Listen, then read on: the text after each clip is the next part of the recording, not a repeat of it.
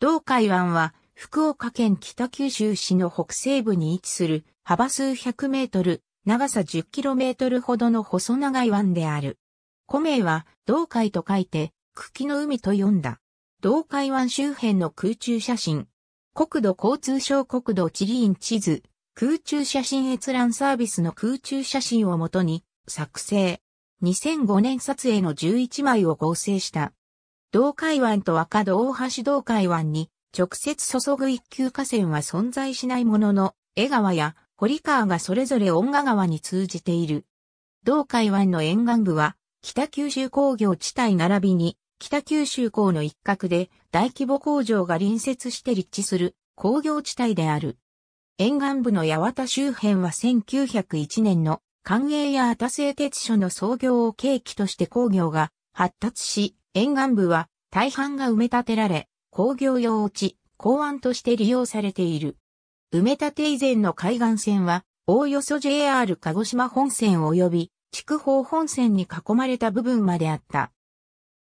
ただ、いずれにしても閉鎖性の高い水域である。現在の同海湾は、ほとんどが人工海岸だが、ごく一部に砂浜や干潟が残っている。また、若松区南に東四丁目の護岸沿いにおいて、干潟再生のための実験が行われている。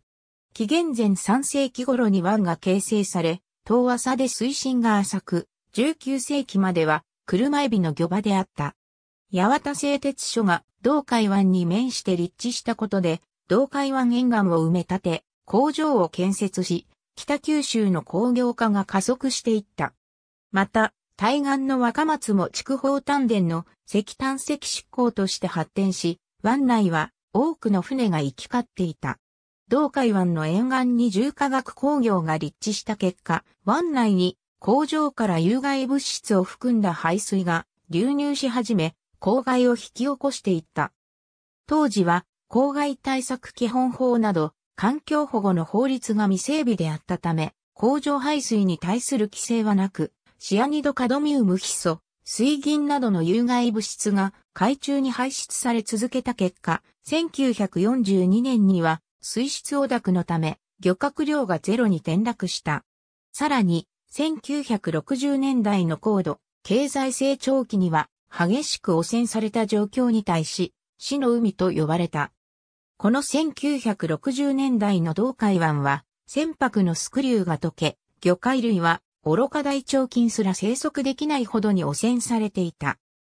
1966年に福岡県と北九州市は公共用水域の水質の保全に関する法律及び工場排水等の規制に関する法律に基づき国に要請し、1974年1月14日からその時点で約480万立方メートルも海底に溜め堆積していた汚泥の浚渫を開始した。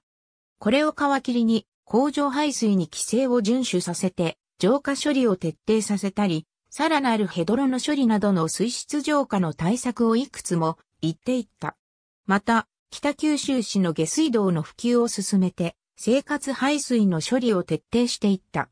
この結果、同海湾の水質は改善され、再び海生生物が湾内にも戻ってきた。さらに、そこに生息する生物によって水質を浄化する能力が高いとされる干潟を人工的に作り出す実験も実施中である。